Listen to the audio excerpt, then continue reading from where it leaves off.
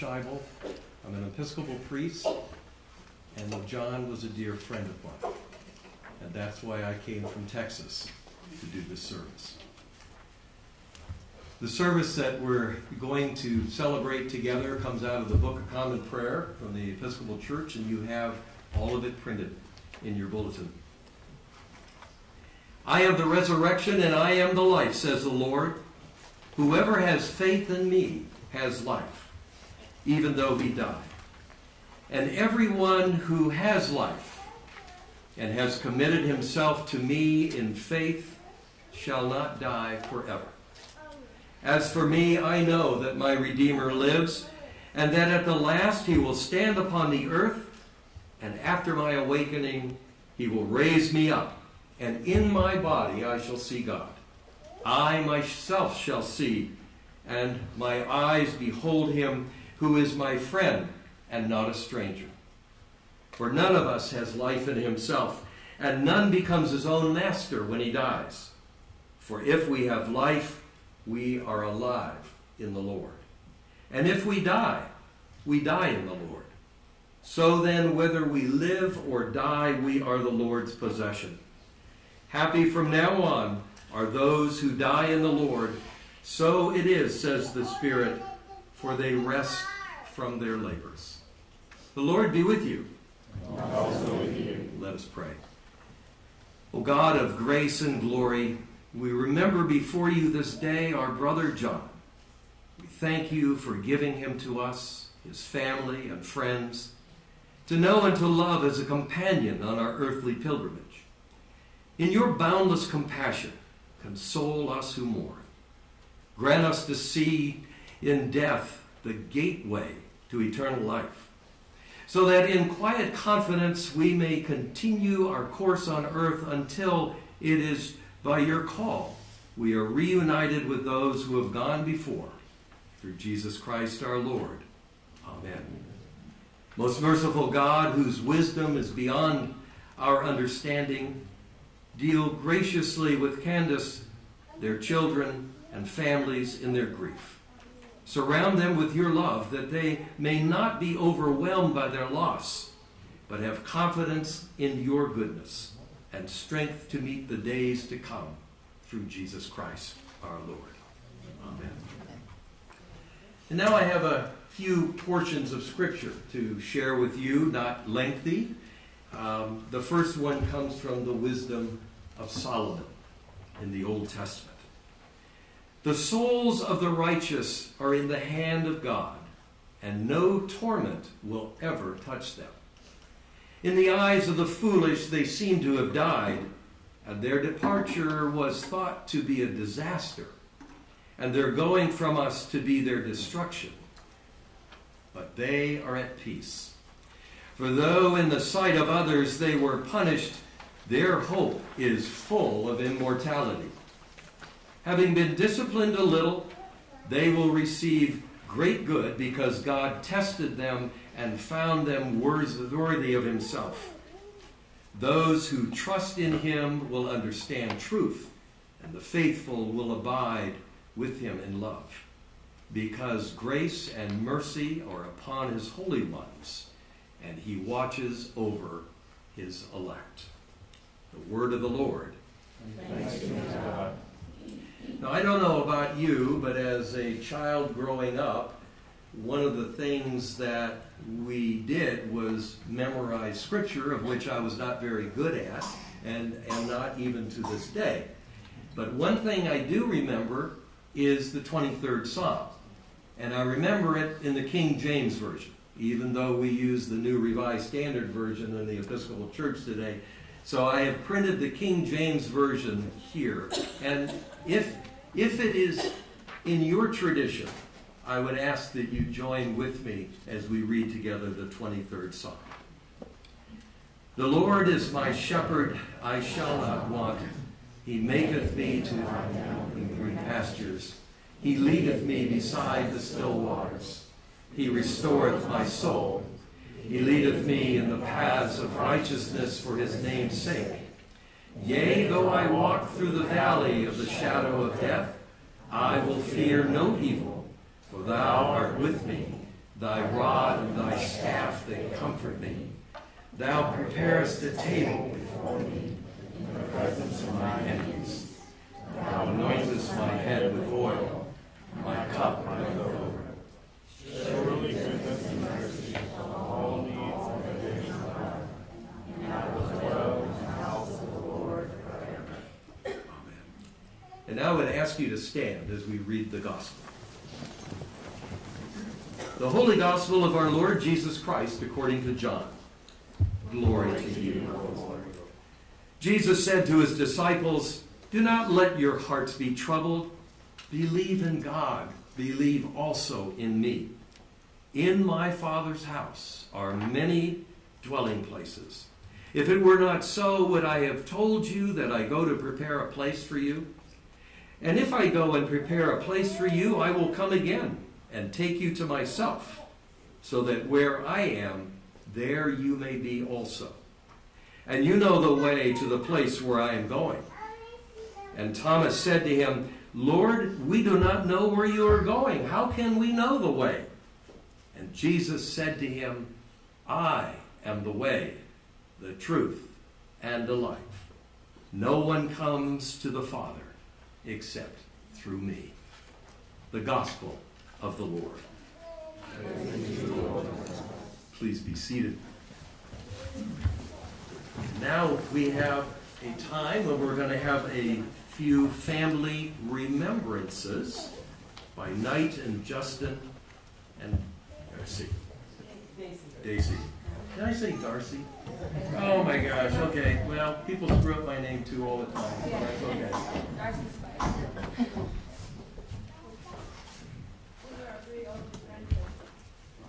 Yeah, I'll that. Can you guys hear me? Yes. Good, good. It's good to out, see out here and see so many familiar faces, and uh, thank you for being here. Um, uh, I guess I'll just get started. When I when I sat down to write down what to say about our, our Grandpa Doc, it, it kind of kind of hit a block. It's tough, you know. What do you pick? You know, what memory, what emotion, what what role model quality are you going to pick to talk about? It's just sort of you could go down a list, and I could sit here and talk to you for hours, and I don't think I don't think that's an option as much as I'd like to. Um, you know, I think we all love him for different reasons. Um, you know, his spirit of generosity, uh, he had an unquenchable hunger for knowledge. Um, you know, he had a unique ability to make, you know, even mundane things seem like kind of an adventure. And, um, you know, I think something I, I heard about, uh, my wife told me the other day, he had another unique ability which is to make you feel like you're the only person in the room he was talking to. Um, and we're going to miss all that.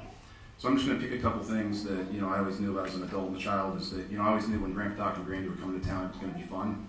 it's going to be nonstop fun, uh, and we'd had, probably eat better than we had all year, um, and uh, we'd have some cool new thing in our house, uh, you know, a new computer, uh, you know, something, something cool you that we remember them by for you know until the next time. Um, you know that spirit of adventure and I'd say almost manic generosity sometimes. Um, it was something that I'm really going to miss, and it's something I've tried to aspire to integrate in my life. Um, you know, and the second thing I want to talk about is just he was also a tireless, tirelessly devoted uh, husband, uh, father, grandfather, great grandfather, and uh, in-law and an outlaw to a lot of different people. Um, you know, I try to model myself sometimes and fail a little bit here and there, but you know, I think at the end of the day, family's first, and you try to take care of them. Uh, something that uh, you know we all mess up on that, and when we do, to varying degrees, you can ask my wife right over there. Um, you know, you apologize, you try to make it right, and you move on.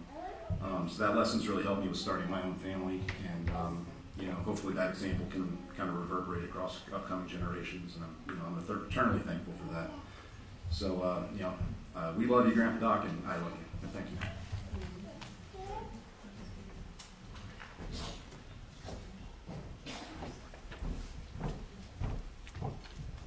I'm not gonna look at anybody because I'll cry more. Look at the door. Okay. Um, hey everybody. Um, for those that don't know, I'm Darcy. and I'm Shuggy Daisy. um, or as Doc called me, the kid. Um, I have uh, so many memories uh, that I think of fondly. You know, when I think of Grandpa Doc. Um, and not to mention all the traits you know that I'll forever love and admire him for. But um, one the main thing that I wanted to focus on while I'm up here talk about, um, sorry, is how much he loved my grandma. Because I've never seen someone love someone as much as he loved her as much as they loved each other. Sorry. Um, sometimes when we're all sitting and hanging out together, I catch him, you know, just watching her, just staring at her.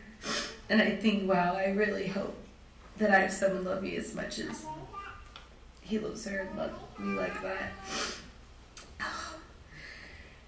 One time when we were on a trip uh, in Colorado, I made a joke at Grandy's expense and I made fun of her.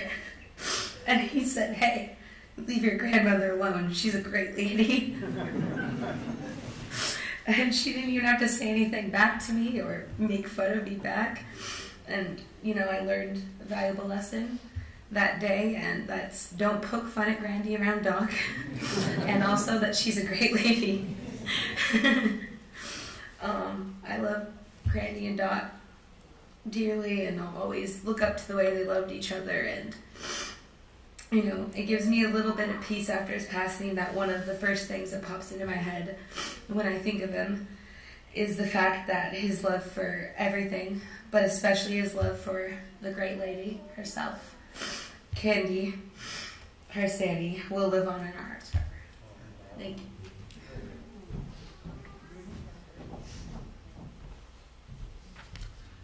Um, uh, hello, uh, my name is Justin Harsany. I'm the second oldest grandchild.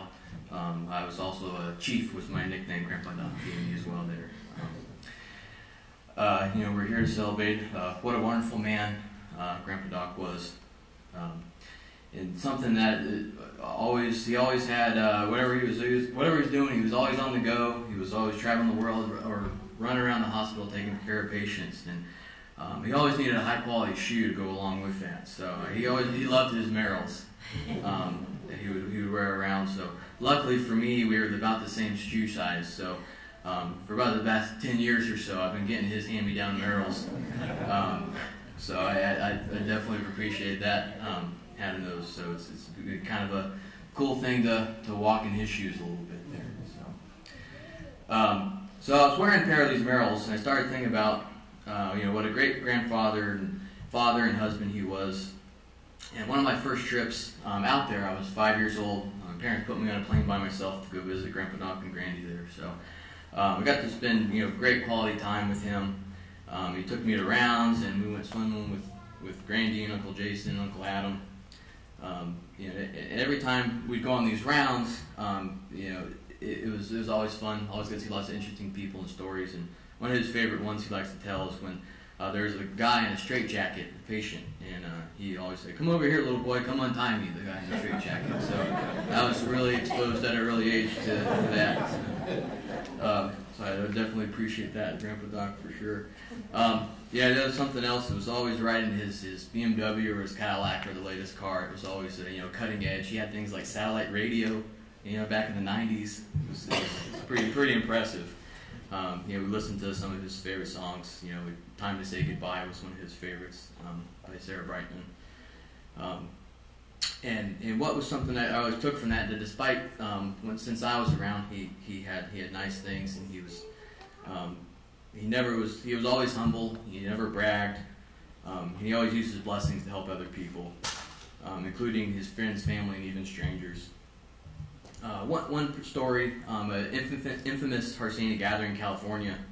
Uh, we were just going to get food at Del Taco for you know about the 10, 15, 20 people that were there one day, and um, in, in, typical uh, kind of Harsany fashion, no one can make up their mind on what we wanted and how much and they all that kind of good stuff. So Grandpa Doc just got in the car, took me, and we went and we just got 100 tacos. So we just got 20, 25 of each flavor taco they had, and, and uh, it, yeah, it, so I just I learned a valuable lesson that day is that sometimes it's just better to make a decision, not one at all, and it's also easier to ask for forgiveness on a full stomach.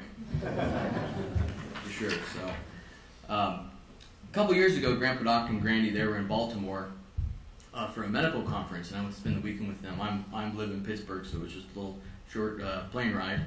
Um, we were in the hotel taking a nap, and all of a sudden the fire alarm went off. Um, so we, so I ran to Grandpa Doctor Miranda's room and knocked on the door, pounding. Where everybody's in their, you know, uh, pajamas or whatever, and um, so we found out it was actually just a water leak, but we still had to evacuate the building.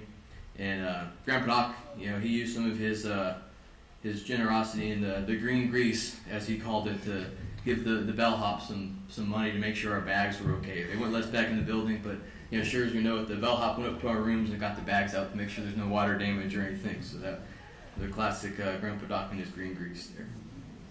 Um, so he, uh, Grandpa Doc grew up in the small town of Oak Hill, West Virginia, and interestingly enough, my my father-in-law was also born in Oak Hill, West Virginia.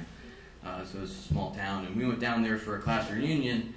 Um, it, my wife went down to meet up with Grandpa Doc and Grandy, and during the reunion, uh, Grandpa Doc talked about a life-saving drug called Narcan, um, and that's something uh, he was on the cutting edge of, of new drugs, and, and that Narcan, I looked up the stats, saved about 30,000 lives um, since its release there in uh, the past couple of years, and that's just that's the, just uh, friends and family, not even first responders. So um, Grandpa Doc was always spreading awareness on the matter the opportunity um, and on the cutting edge of, of medicine. Um, something else that I was actually there to witness to um, was he was one of the first doctors to use the Nicorette patches um, to help people quit um, quit smoking. Um, and that, that was an interesting interesting milestone. He said that these will be in stores everywhere pretty soon, and sure enough, uh, they are. So, uh, one of my last visits with Grandpa Doc uh, this summer. Um, he was able to meet my eat, meet, eat, meet his youngest great grandsons um, for their first birthday. Uh, you know, we had some special one-on-one time together, um, crab fishing on the wharf, the wharf, and baiting and catching crabs. Uh, Grandpa Doc, he inspired many people with his words of wisdom, he helped me make me help make me the man, father, and husband I am today. I will teach his words of wisdom to my children and their family, families, and their children. We will miss him here with us, but we know the sunsets at the wharf will be a little bit more colorful and brighter with him up there. Thank you.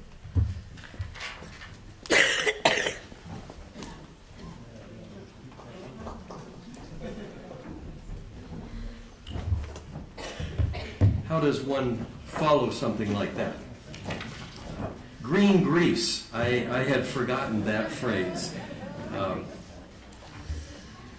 well, I'm an Episcopal priest, and I'm sure you would expect I'm going to have some kind of a homily or a sermon. And, and I could talk for 30 minutes, 45 minutes. I could see your faces now. Don't worry, I'm an Episcopalian. That is never going to happen. Um, people wonder too. Well, maybe maybe he's going to tell me what it's what it's going to be like after death. You know, what's this place going to be like? And I've got lots of opinions about that. I've done lots of reading about that. But no, I'm not going to do that because when I was, was at uh, John's house yesterday and was talking to, to Candy about the dogs, I remembered a story. And knowing that John was a real dog person, uh, the story about a dying man who had a Christian doctor, and he asked this doctor about what was it going to be like, this place where I'm going? And as the doctor sort of fumbled for a, a, reply, he heard a scratching on the door, and he had his answer. And he said to the patient, Do you hear that? It's my dog. I left him downstairs, but he has grown impatient, and he's come up because he hears my voice. He has no notion of who's inside the door, but he knows that I am here. Isn't that the same with you? You don't know what lies beyond the door, but you know that your master is there. And I just thought, that's all I need to say about that. But I have a few other things to say too. You know, from the very beginning of his public ministry, Jesus demonstrated the power of the healing of God and that he demonstrated that it was in him. And Matthew tells us that Jesus went to Galilee and you know teaching in the synagogue and preaching the gospel of the kingdom and healing every disease and infirmity among the people. And then consider the first disciples of Jesus after they had experienced the presence of the risen Christ these ordinary persons discovered not only that they had an ongoing power to heal, but one which they could share with others. Well, consider the life of John, the person we're here, whose life we're celebrating. He was a professional, he was a physician, he was a really good physician. He was a true expert in his field. In fact, he was an expert in multiple fields. But in imitation of Jesus, from the very beginning of his ministry of service, he was first and foremost a healer. A doctor patient relationship existed between John and those who relied on him for medical assistance and treatment. But more than that, there existed a Christ like, one on one, deeply personal relationship between he and his patient. And in his wisdom, he was very aware that in terms of one's well being, there is a strong connection between the physical and the spiritual. And that's something John and I used to talk about all the time. And he approached the examination, the diagnosis, and the treatment of a patient with that reality very much in mind. So, like the first disciples of Jesus who discovered that the healing power of God was in them, John discovered that the healing power of John was in him. And we now celebrate the life that he exercised that power in the manner of a loyal and faithful follower. And I thank God for that. Because in truth, it's because of John that I am actually here today. When I first went to Hemet, California to become the rector of Good Shepherd Episcopal Church, John and Candy and Louise, uh, Candy's mother, and their kids were all members of my parish. And I had met John just in the couple of weeks that I'd been there, but only in passing. But John and Candy had a huge barbecue. Now, I should mention there's a real connection with John and food, but I suspect you probably all know that. But it was a huge barbecue at their house. And to welcome myself, my wife Pam, and our two children, and it was a great time to get to know these people. John came up to me and he sort of took me aside. He says, uh, Father Gordon, uh, I have a very serious question for you. And I'm thinking, oh my gosh, I've only been here two weeks. What could this be? So he said to me, Do you visit patients in the hospital? And I kind of looked at him like, I've been a priest for like 30 years and I've been a hospital chaplain. So, of course, I visit patients. That's a part of who I am, it's a part of my calling. And he said, Oh, okay. I'm really glad to hear that. Well, I didn't know for quite a while that maybe one of my predecessors there didn't quite do that very well, at least to his liking. You know, as, as the rector, John was a tremendous resource to me.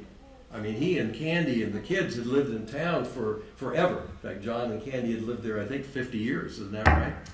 So he knew everybody. He knew everything about the town. So it was a really good connection to be able to get information and, and help. And he was a strong personal supporter of, of me. And I mentioned a little bit earlier that he's the reason I'm here. One of John's specialties was in addiction medicine. And part of the reason that he was an expert in that and one of the best in the state of California is that he himself was in recovery. I called John when I realized that I was powerless over alcohol and my life had become unmanageable. He was the very first person that I called. And because of his dropping everything to respond to that call, I am a sober person today. I owe John a lot. Well, I always thought of John actually as being my second sponsor. You know, I have a sponsor, but John was always my second one.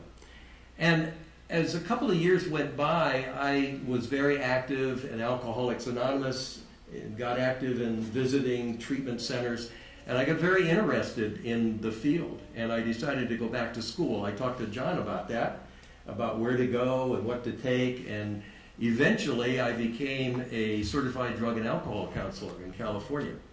And I did my internship at Hemet Valley Recovery Center, where John was one of the co medical directors, and he would give classes uh, to the patients who were there.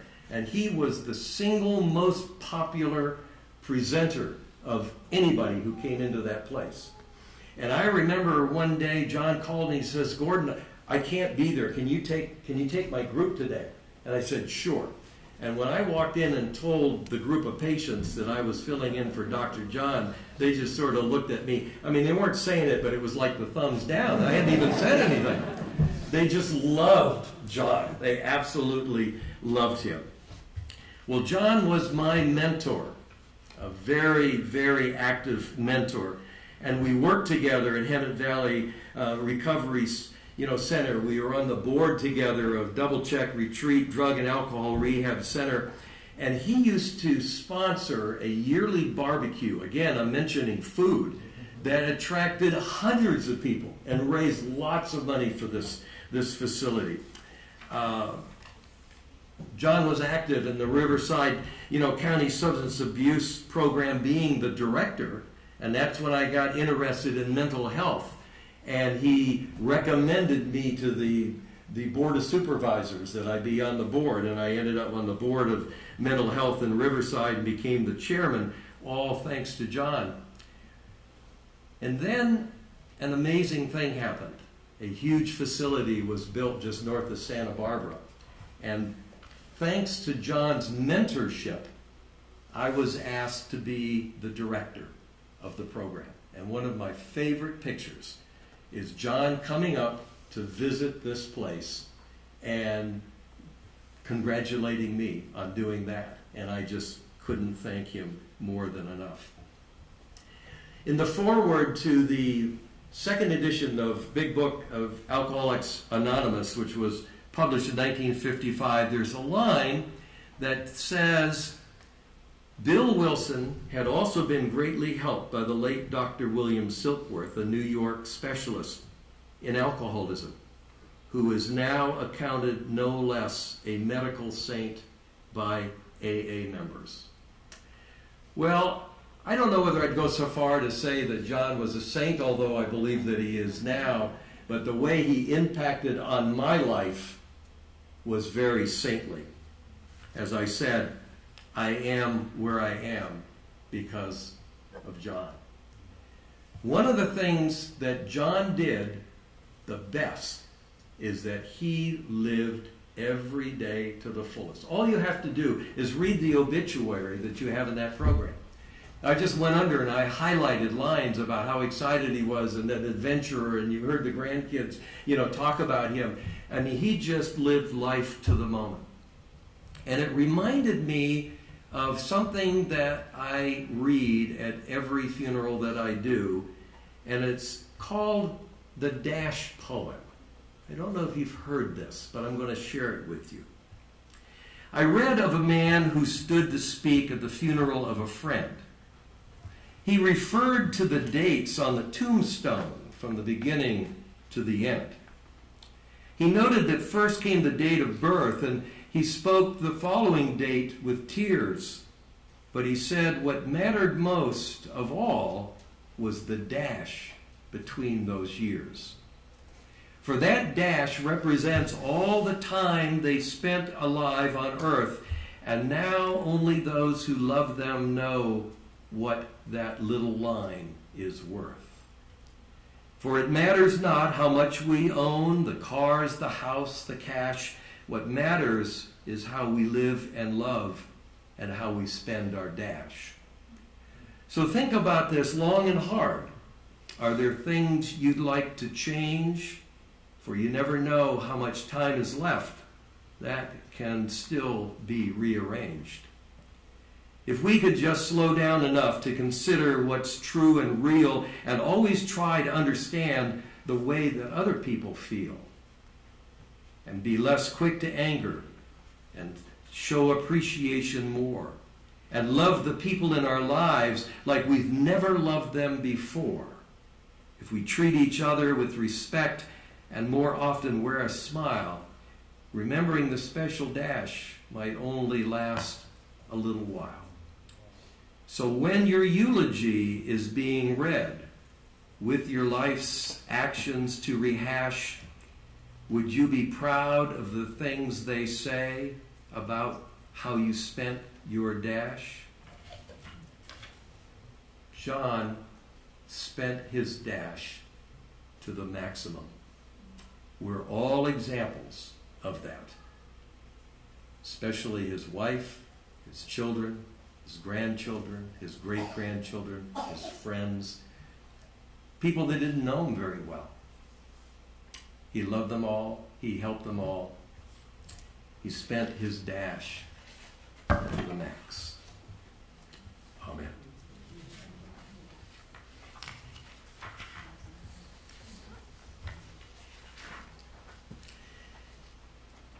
And now I would like for you to stand as we recite together the Apostles' Creed. And again, I emphasize for those that this is not a part of your faith tradition. It's perfectly fine. For those that it is, please join with me. I believe in God, the Father Almighty, creator of heaven and earth. I believe in Jesus Christ, his only Son, our Lord. He was conceived by the power of the Holy Spirit born of the Virgin Mary. He suffered under Pontius Pilate, was crucified, died, and was buried. He descended to the dead. On the third day he rose again. He ascended into heaven and is seated at the right hand of the Father.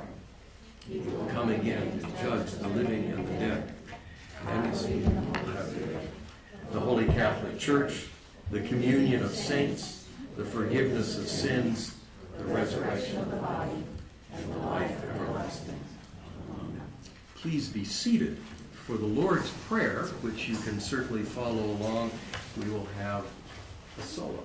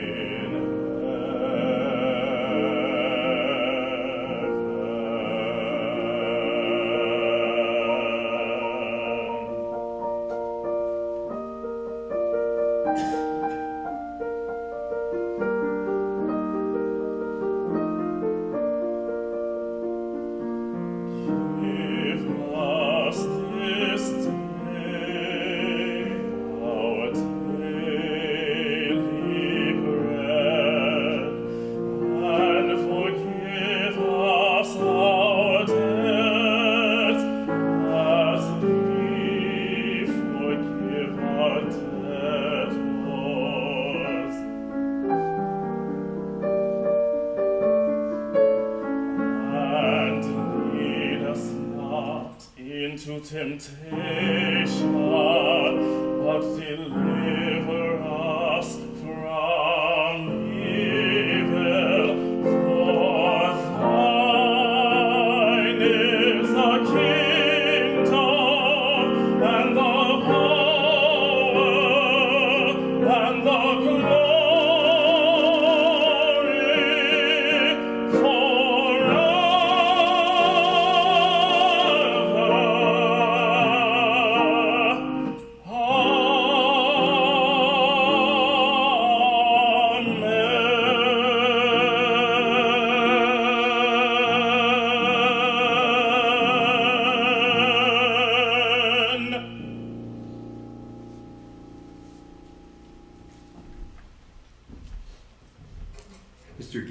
Preston will now lead us in our prayers of intercession.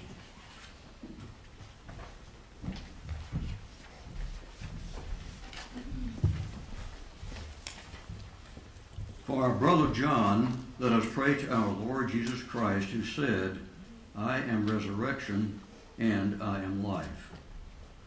Lord, you consoled Martha and Mary in their distress. Draw near to us who mourn for John, and dry the tears of those who weep. Hear us, Lord. You wept at the grave of Lazarus, your friend. Comfort us in our sorrow.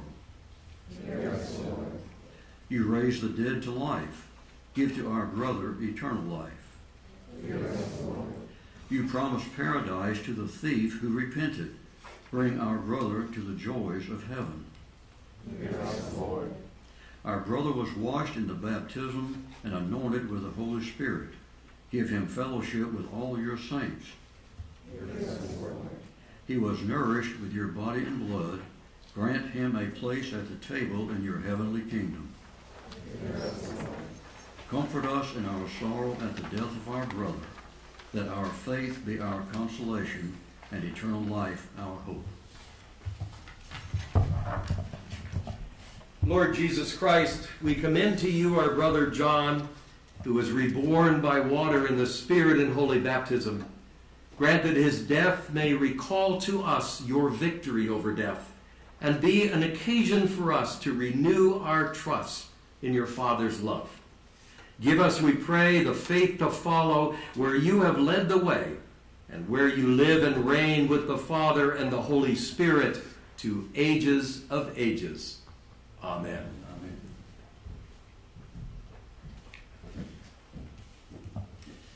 Before we get to the commendation, I should let you know that after the blessing and the dismissal, I don't want everybody to just kind of get up and walk out because we will have another piece of music, and then following that will be the military honors. So please remain in your seats.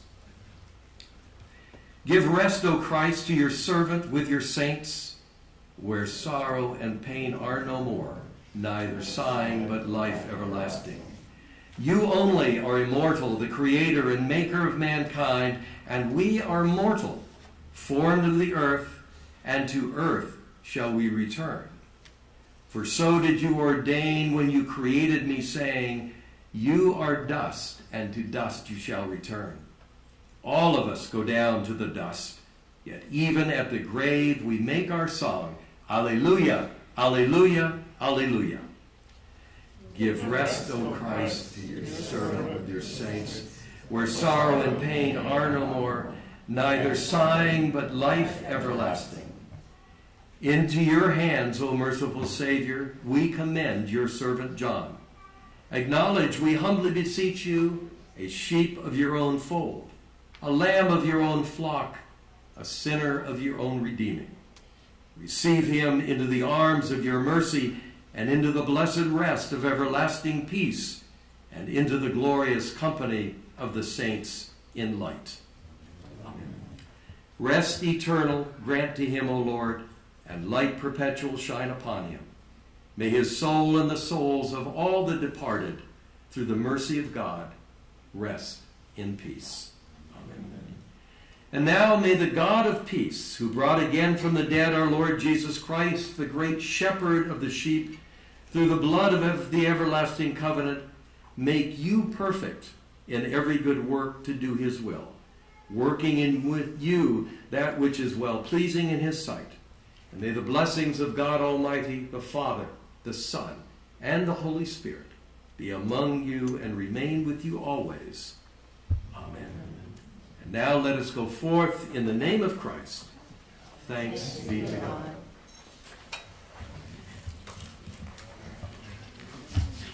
On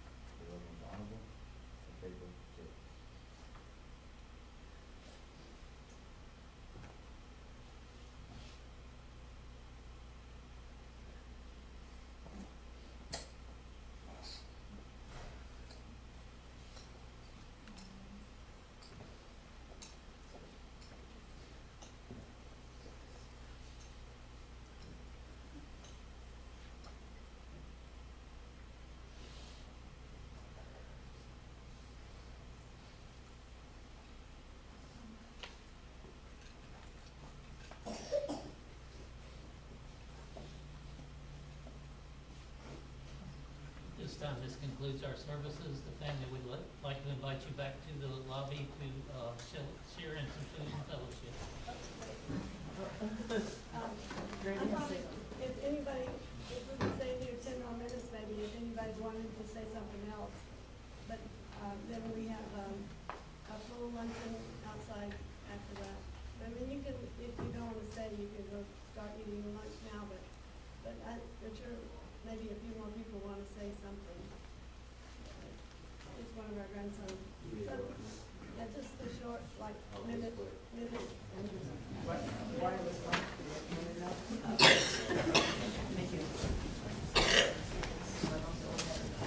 Stay for lunch,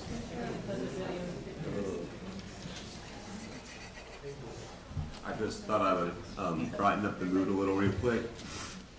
I'm Benjamin, aka Transporter. Sorry if I don't make eye contact with you right now. Grandpa Doc's the reason I chose communications as my major. He always wanted me to talk. He, he likes when I use my voice. He, he always pushed me to be a cruise ship director, and there's a chance that can happen. But I just I just wanted to brighten up the mood real quick. Um, ah, sorry. Okay. So every every two years, I used to go with Grandy and Doc to IDAA, International Do- Doctors Alcoholics Anonymous, and I just thought back on a funny story. The entire trip, anytime Grandy spoke to Grant, anytime Grant Doc spoke to Grandy, he would call her George. And I was like, George, why is he calling her a male name? The whole trip, George, George, George, and I just didn't get it. And then eventually, it hit me. I looked at Grandpa Doc. I was like, if she's George, who are you? He goes, Lenny. I was like, of Mice and Men. I was like, you're Lenny? Why are you Lenny? He's like, because I wouldn't be me without George. And that just proves how awesome Grandpa Doc is and humble. He called himself Big Lenny, and look what an impact he had. Thanks, y'all.